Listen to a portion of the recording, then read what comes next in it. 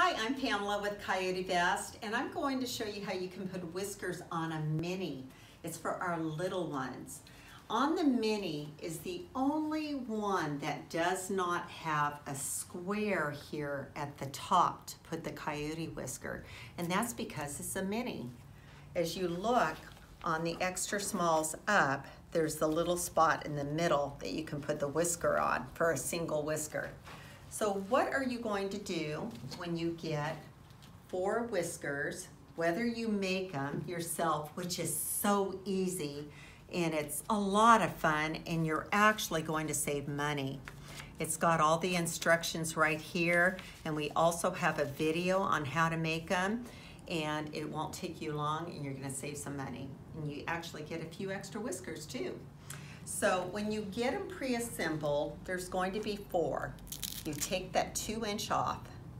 You wanna make sure with the whiskers that you have it centered because you need a little bit on each side to be able to hold it down.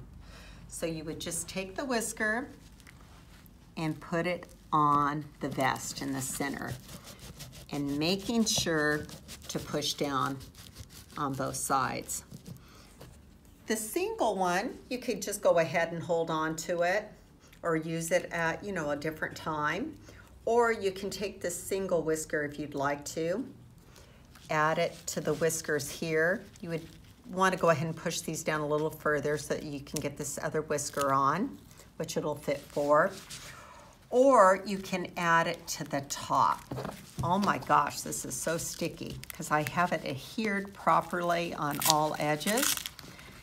What you would do is you would pull up the spikes on the collar and with this horizontal piece here, which is two inches, place it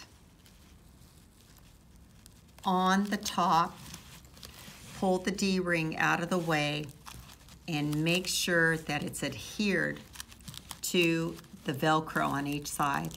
Then just place the spike on top